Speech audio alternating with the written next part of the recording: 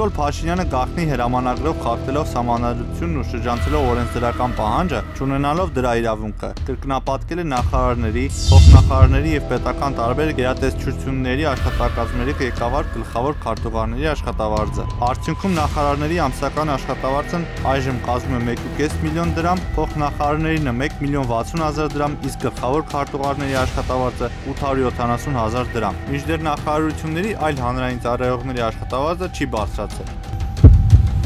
Նիկոլ Փաշինյանը գաղտնի հրամանագրով բարձրացրել է նաև կառավարության աշխատակազմի ղեկավարի եւ երկու փոխվարչապետերի աշխատավարձը, դարձնելով 1.5 միլիոն դրամ։ Փաստացի փոխվարչապետերն ու նախարարներն ավելի բարձր են վարձատրվում, քան հանրապետության նախագահը եւ ազգային ժողովի նախագահը։ 2019 թվականին միայն առաջին 10 ամիսներին ազգային ժողովը 14 անգամ ապարգևատրել է պատգամավորներին եւ ԱԺ աշխատակիցներին։ Ապարգևավճարների ընդհանուր գումարը կազմել է մոտ 2 միլիոն դոլար։ 2019 թվականի մայիսին կառավարությունը ազգային ժողովին հատկացրել է լրացուցիչ շուրջ 900 միլիոն դրամ պարգևավճարների եւ գործողումների համար։ Բացի այդ, ազգային ժողովը ձեռք է բերել 4 ռենտգենային զննող սարքավորում, որից 3-ը տեղակայվել են ազգային ժողովի անցակետերում։ Մեկը ԱԺ նախագահ Արարատ Միրզոյանի աշխատասենյակի մուտքի մոտ։ Ազգային ժողովի գնումների մոտ 40%-ն իրականացվել է մեկ աղբյուրից՝ առանց մրցույթի, ինչը կոռուպցիոն ռիսկ է պարունակում։ Ըստ չերկված տեղեկության Ազգային ժողովի նախագահ Արարատ Միրզոյանը Արցախի հանրապետության հռչակման օրը սեպտեմբերի 2-ին 14 հոգանոց պատվիրակությամբ Արցախի այցի ընթացքում տեղի ռեստորաններից մեկում պատվիրել է ամենաթանկարժեք ուտեստներն ու խմիչքը։ Ճաշկերույթի հաշիվը կազմել է շուրջ 2 միլիոն դրամ, որը վճարվել է Հայաստանի Հանրապետության պետբյուջեից։ Հայաստանի Հանրապետության վարչապետին առընթեր պետական վերահսկողական ծառայության ղեկավար կազմը եւ աշխատակիցներն ամեն ամիս ապարքեվավճարներ են ստացել։ 2019 թվականի հունվարից մինչև նոյեմբեր պետական վերահսկողական ծառայությունում ստացել են շուրջ 180 հազար դոլարի ապարքեվավճար ըստ պաշտոնական վիճակագրության միայն 2018 թվականին Հայաստանից արտագաղթել 18500 մարդ, իսկ 2019 թվականի հոկտեմբերի դրությամբ Հայաստանի բնակչությունը կրճատվել է եւս 11700-ով։ 2018 թվականի ԱՄՆ խաղարկային վիզաների կամ Green Card-ի խաղարկությանը Հայաստանից դիմել է 110725 քաղաքացի, որը 14336-ով ավելի է 2017 թվականի եւ 38871-ով 2016 թվականի համանման դիմումներից։ Տեղեկությունը հրապարակված է ԱՄՆ պետդեպարտամենտի կայքում։ 2015 թվականին շարունակվել է օտարերկրյա ուղակի ներդրումներից ավալի էական կրճատումը։ Առաջին 9 ամիսների տվյալներով ներդրումները կրճատվել են եւս 60 միլիոն դոլարով, կազմելով ընդամենը 68 միլիոն դոլար։ 2018 թվականի երկրորդ երամսյակից սկսած օտարերկրյա ուղակի ներդրումներն իրենց հերթին մեծապես կրճատվել էին։ Նույն տարվա առաջին երամսյակի եւ նախընթաց տարիների համադրությամբ։ Նիկոլ Փաշինյանի քաղաքացիական պայմանագիր կուսակցությունը 2018 թվականին ազգային ժողովի արտահերտ ընտրություններից առաջ 4 անգամ խոշոր չափի ընդհանուր առմամբ 100 միլիոն դրամը գերազանցող վճարումներ է կատարել։ Իմ քայլը դաշինքի նախընտրական հիմնադրամի։ Ընդ որում կուսակցությունից զատ խոշոր 5 միլիոներով ավելի դրամ անհատական փոխանցումներ են կատարել Արարատ Միրզոյանը, Դավիթ Սանասարյանը, Սիփան Փաշինյանը եւ տասնյակ այլ գործող պաշտոնյաներ, որոնց հայտարարագրերում նման կարողության մասին տվյալներ չկան։ Համաձայն շրջանառվող վարկածի այս գումարները իրականում փոխանցել են օլիգարխները, իսկ իմ քայլականները պարզապես իրենց անուններից մուտք են արել դաշինքի նախընտրական հաշվեհամարին։ Նիկոլ Փաշինյանի կնոջ Աննա Հակոբյանի ղեկավարած հիմնադրամին 10 միլիոն դրամ անանուն ու վիրատվություն է կատարվել, որը կոռուպցիոն ռիսկ է պարունակում։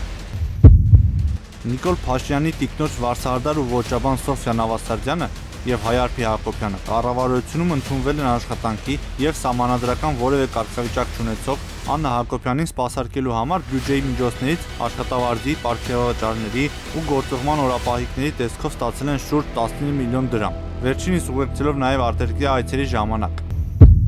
Հայաստան համահայկական հիմնադրամին վերջին 15 տարիների ընթացքում ամենակիչ նվիրատվությունն արվել է այս տարի։ Եվ սա այն դեպքում, երբ Նիկոլ Փաշինյանն իր արտերկրի այցերի ժամանակ բազմաթիվ հանդիպումներ է ունեցել տարբեր երկրների հայկական համայնքների հետ, իսկ աշնանը չարտերային թռիչքով մեկնել է Լոս Անջելես, հրավիրելով համահայկական հանրահավաք։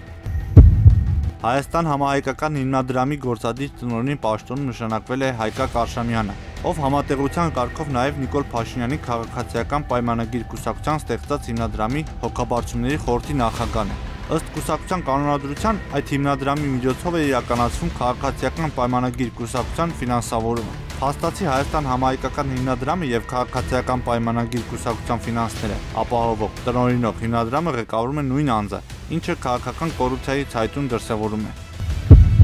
Նիկոլ Փաշինյանի ԱՄՆ աշխատանքային այցով կազմակերպման նպատակով վարձվել է մասնավոր ինքնաթիռ, որի համար պետական միջոցներից վճարվել է շուրջ 350 հազար դոլար, ինչն աննախադեպ է։ Իսկ այցը կազմակերպելու համար պետական բյուջեից ծախսված միջոցները կազմել են մոտ 500 հազար դոլար։ Դեկտեմբերի 12-ին կառավարությունը հերթական անգամ 95 միլիոն դրամով ավելացրել է այս տարվա արտասահմանյան պաշտոնական գործողումներին բյուջեից հարկացվող գումարը։ 2019 թվականի պետբյուջեով գործողումների համար նախատեսված է եղել 350 միլիոն դրամ։ Միջդեռ կառավարության նախկինում կայացված երեք որոշումներում նշված գումարն ավելացվել է 530 միլիոն դրամով, արդյունքում դառնալով 880 միլիոն դրամ։ Արմանալի պետություն ենք ընդհանրապես։ Մենք Երևանի քաղաքապետարանի տրանսպորտի վարչության պետին ծառայողական ավտոմեքենա ենք տալիս, ասում են գնա գործի արի տուն։